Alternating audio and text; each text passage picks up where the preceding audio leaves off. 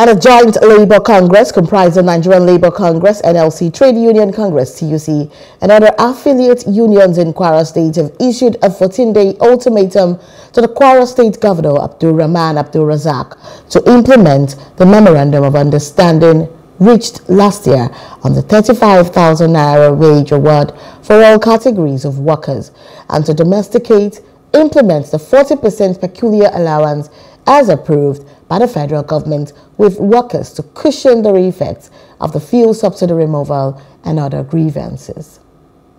The government of our dear state has refused to honor and implement all written and gentleman agreements it entered into with labor.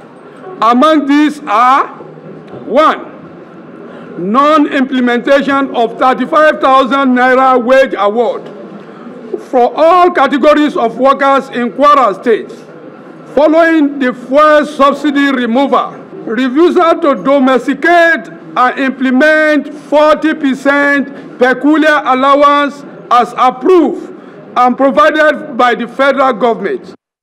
The workers have issued a 14-day ultimatum to the state governor, Abdulrahman Abdulrazaq, to resolve all pending issues and implement the agreement accordingly or risk industrial action come 26 January 2024.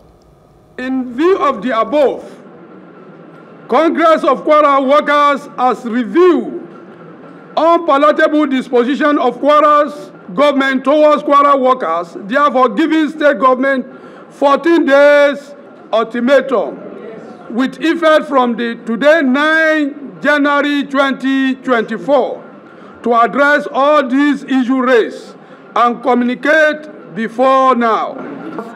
14 days ultimatum and which elapsed by 26 of this month.